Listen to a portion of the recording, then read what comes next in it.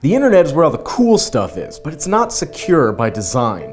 When you visit a website, your computer sends your data through your local network, through the internet service provider's infrastructure, and finally to the server where the website actually lives. All along the way, sinister eyes could be peering in at your activity. Out on the web, advertisers and spies can track your movements between websites by noting your IP address. Your ISP can sell anonymized metadata about you and your activities to whomever they wish. Thanks, Congress. And there are even threats closer to home.